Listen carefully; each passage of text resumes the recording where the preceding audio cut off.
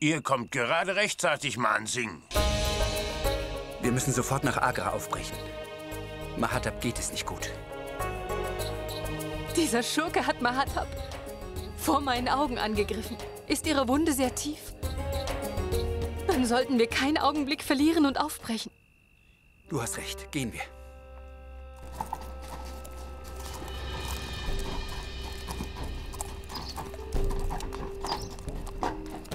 Hast du Fieber, Joda?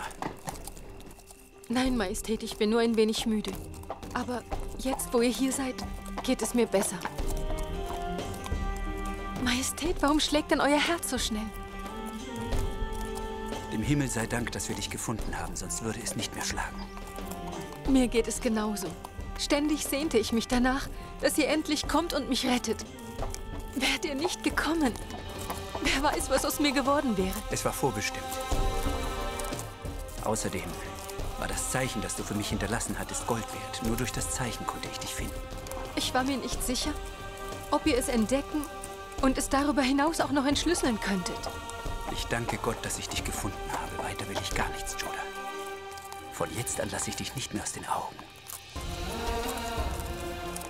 Ich werde euch sowieso nicht mehr verlassen. Egal was passiert. Ich werde immer bei euch bleiben, Majestät.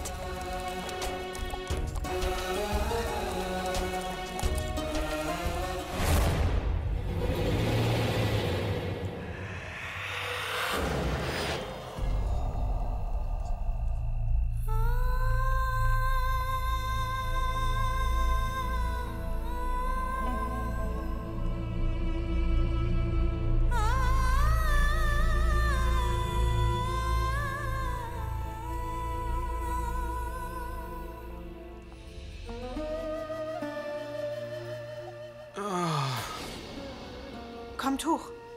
Kommt, hoch mit euch. Setzt euch.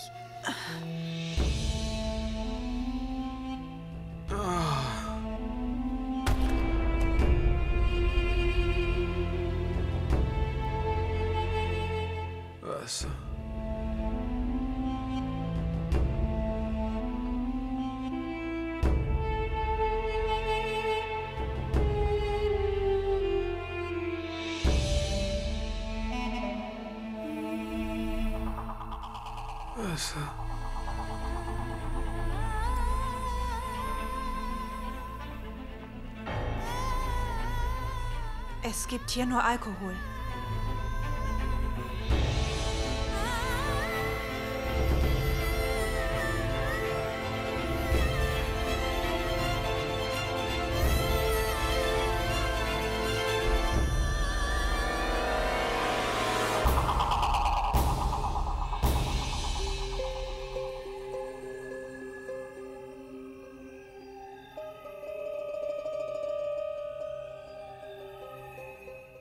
Nehmt etwas Opium.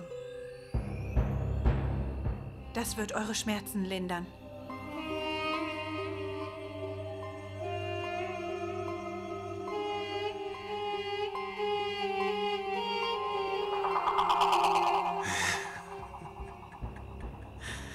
Oh Allmächtiger, die Frau ist deine seltsamste Schöpfung. Ich habe dich so gequält, aber ich weiß genau, dass du mich trotzdem nicht einfach sterben lässt. Weißt du, Bakshi, was ich im Austausch für Königin Joda verlangt habe? Dich. Nicht aus dem Grund, weil ich dich liebe, sondern weil ich mich endlich an dir rächen wollte. Und jetzt kommst du freiwillig hierher, ohne zu wissen, dass du sterben wirst, um mich zu retten. Ihr könnt euch nur an mir rächen, wenn ihr am Leben bleibt. Ich kam aber nicht hierher, um euer verdorbenes, kleines Leben zu retten. Ich kam, um euch vor meinen Augen sterben zu sehen, um nicht mehr zu leiden. Hör doch auf mit dem Unsinn. Ich weiß, dass du nie fähig wirst, mir irgendetwas anzutun, denn du liebst mich einfach viel zu sehr, Bakshi. Ich habe es bereits getan. Ich habe sowohl den Alkohol als auch das Opium, das ihr zu euch nahmt, vergiftet. Ach ja? Wenn du das wirklich getan hast, warum spüre ich dann noch nichts davon? Gift.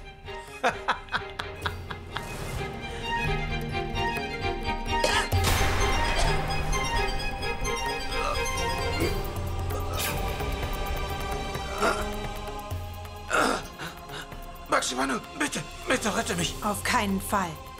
Nachdem ich sah, in welchem Zustand meine Tochter war, stand mein Entschluss fest. Euch ohne das geringste Mitleid zu töten. Bitte vergib mir, Baxi. Für die Grausamkeiten, die ihr Matab und Joda angetan habt, gibt es keine Vergebung. Ihr habt die Frau entführt, die unsere Tochter wie eine Mutter aufzog und mich immer wie ihre eigene Schwester behandelte. Der allmächtige Gott möge mir vergeben, dass ich meinen Mann töte. Aber die Verbrechen, die ihr begangen habt, können euch nicht vergeben werden.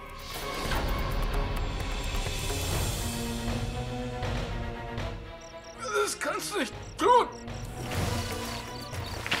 Beim Morgengrauen wird Jalil als süßes Kind nicht mehr am Leben sein. Wenn du irgendetwas verrätst, dann töte ich sie auf der Stelle.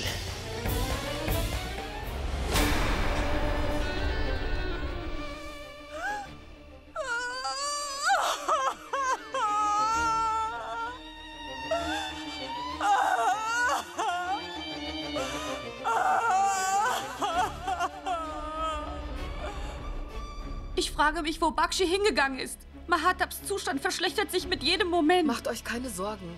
Alles wird gut gehen. Die Soldaten suchen bereits nach Bakshi Banu. Sie wird bald zurückkommen. Mahatab wird auch bald wieder gesund. Joda! Du bist zurück, mein Kind.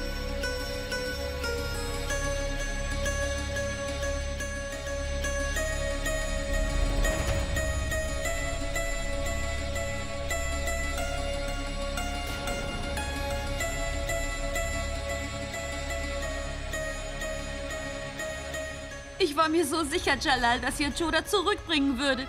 Mahatab wurde verletzt, als sie versuchte, mich zu retten. Wenn sie nicht versucht hätte, Sharifuddin aufzuhalten, wäre das nicht passiert. Es ist nicht deine Schuld, Liebes. Ich danke dem Allmächtigen, dass du zurück bist. Wo ist Sharifuddin? Ich habe ihn da zum Sterben zurückgelassen, wo er Königin Shoda gefangen hielt. Aber warum seid ihr alle so aufgeregt? Stimmt etwas nicht? Ist alles in Ordnung? Gar nichts ist in Ordnung.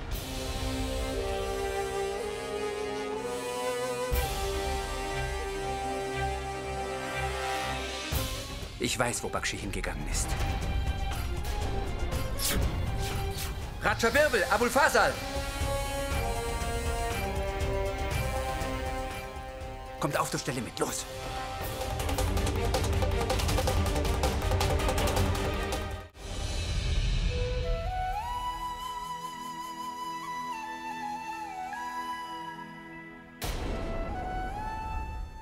Mahatab!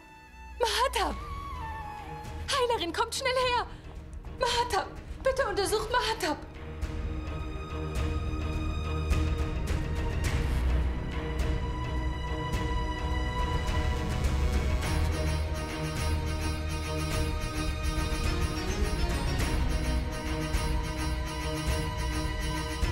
Es sieht so aus, als hätte sich das Gift der Wunde im gesamten Körper verteilt. Mahatab! Moti, ruf schnell seine Majestät hierher! Mahatab, dir wird nichts passieren. Ich bin bei dir. Ich passe auf, dass dir nichts passiert. Was ist mit Mahatab? Ich weiß nicht. Oh Gott. Heilerin, warum tut ihr denn nichts? Ich tue wirklich mein Bestes, Majestät. O Allmächtiger, hab Erbarmen mit meiner Enkeltochter. Das ist die letzte Dosis Medizin. Ich hoffe sehr, dass sie wirkt.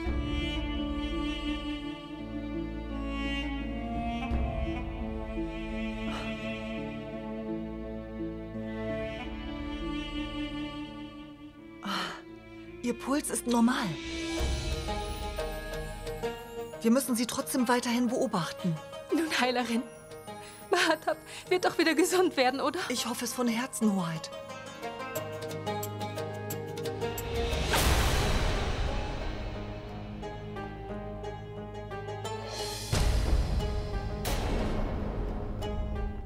Bakshi, wie sieht's denn aus? Peiniger hat seine Strafe erhalten. Jetzt wird er dich nicht mehr quälen. Er ist nicht mehr am Leben. Ich habe ihn vergiftet. Jetzt kann dir niemand mehr etwas antun. Bakshi, was hast du da bloß getan? Ich bereue meine Tat nicht. Ihr mögt alle denken, dass ich eine Sünde begangen habe, indem ich meinen Mann tötete. Es wäre für mich aber eine größere Sünde, diesen Mann, der meine Tochter gequält hat, nicht zu bestrafen. Ich bereue nichts. Du hast auch nichts zu bereuen. Du hast auf jeden Fall das Richtige getan, Bakshi. Ich wollte sowieso, dass er dort langsam verendet.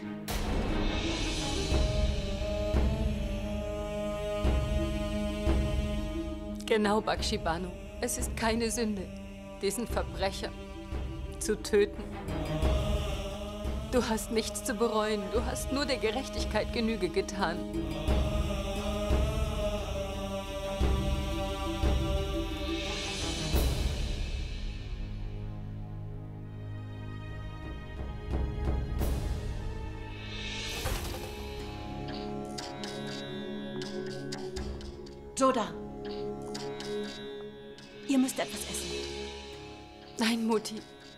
Möchte nichts. Nur ein kleines bisschen. Seine Majestät schimpft mit mir, wenn ihr nichts esst. Esst bitte was. In Ordnung?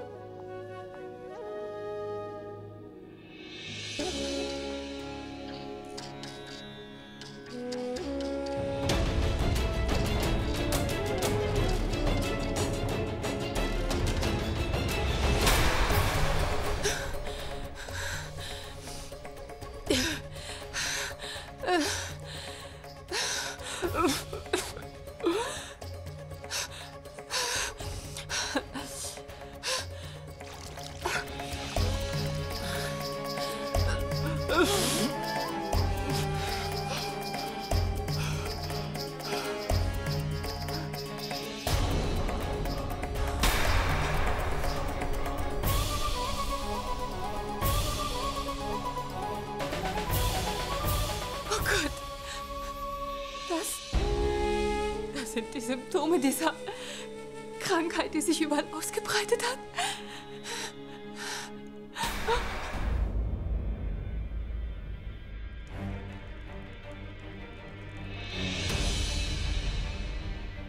Warum wird sie für meine Sünden bestraft?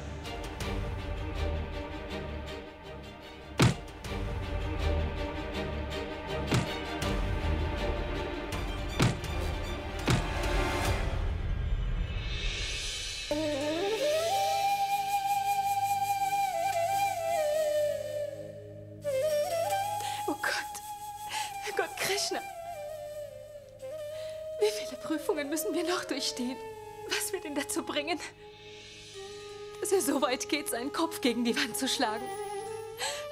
Welche Katastrophen liegen noch vor uns? Die seine Majestät dazu bringen, verloren umherzuwandern.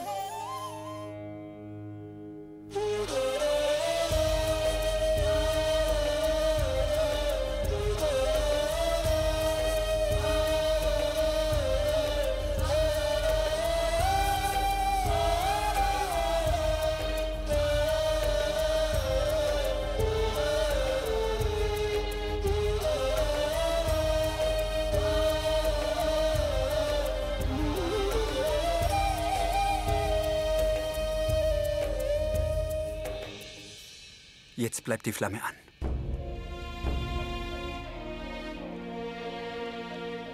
Majestät, unsere schweren Zeiten sind noch nicht vorüber.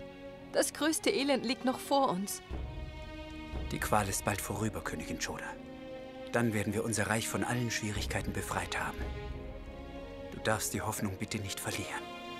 Ich verstehe nicht, warum ihr in meinem Traum euren Kopf gegen die Wand schlugt und ständig, warum hast du sie für meinen Fehler bestraft gesagt habt. Wen meintet ihr damit? Jemand, der euch nahesteht, ist in Gefahr, aber wer ist es? Dies ist die Zeit der Prüfungen, Königin Choda. Aber ich werde keinesfalls aufgeben. Ich stelle mich jeder Prüfung. Solange du bei mir bist, bin ich zu jedem Kampf bereit. Genauso wie du den Dorfbewohnern am Ende ihren Hass auf mich genommen hast, Ganz genauso werden wir unseren Untertanen die Wut nehmen, die sie auf mich haben. Alles wird gut werden.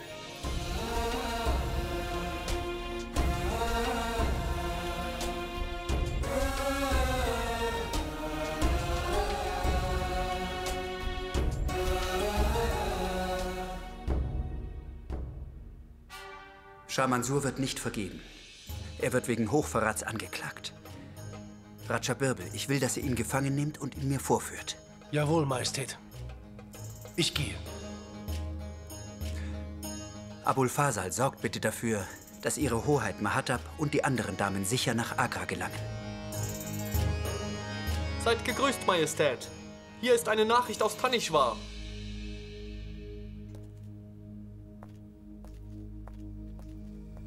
Rajaman Singh, liest die Nachricht bitte vor. Ja, Majestät. Es sind Neuigkeiten von der Schlacht. Prinz Salim wurde in der Schlacht verwundet. Wir können uns Mirza Hakims Armee nicht widersetzen. Wir brauchen sofort Unterstützung. Bereitet sofort alles für meine Reise nach Tanishwar vor. Mein Sohn bittet uns um Unterstützung. Ich muss jetzt unbedingt bei ihm sein.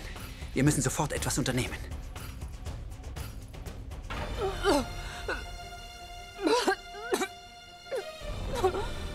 Oh mein Gott. Ihr habt Fieber.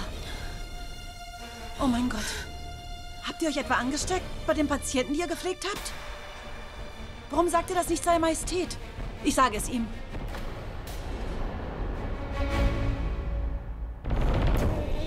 Du wirst auf gar keinen Fall jemandem von meiner Krankheit erzählen. Weder jetzt noch später, verstehst du? Ich weiß doch, dass ich an dieser Krankheit leide. Was? Dann müsst ihr seine Majestät sofort davon unterrichten. Ihr braucht medizinische Behandlung, Joda. Nein, Mutti. Ich werde mich schon selbst darum kümmern. Seine Majestät hat eine Menge anderer Verpflichtungen. Es herrscht eine Hungersnot. So viele Menschen leiden an dieser Krankheit. Und Salim braucht dringend Truppen zu seiner Unterstützung auf dem Schlachtfeld. Sollte es passieren, dass seine Majestät irgendwie von meiner Krankheit erfährt, dann wird er nicht zögern, seine Reise abzusagen. Die Probleme seiner Untertanen überlasten ihn dann. Versprich mir hoch und heilig. Versprich mir, dass du niemandem davon erzählen wirst. Also gut. Aber dann müsst ihr mir auch etwas versprechen. Dass ihr euch gesund pflegen lasst. Das müsst ihr mir hoch und heilig versprechen. Und zwar jetzt sofort. Versprochen. Aber du darfst seiner Majestät nichts davon erzählen. Was soll seine Majestät nicht wissen, Königin Joda?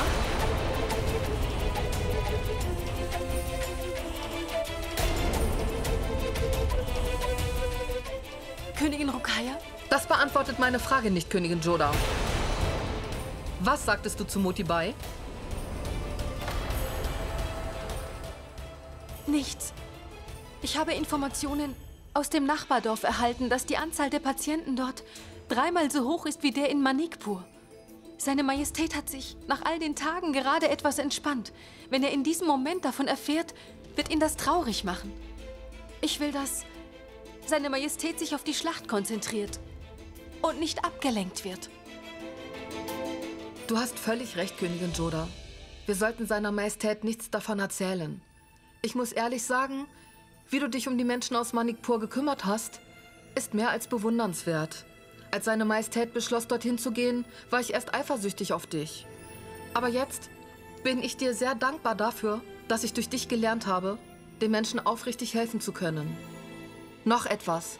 Wir werden morgen die Rückreise nach Agra antreten. Aber ich werde dort nicht lange bleiben.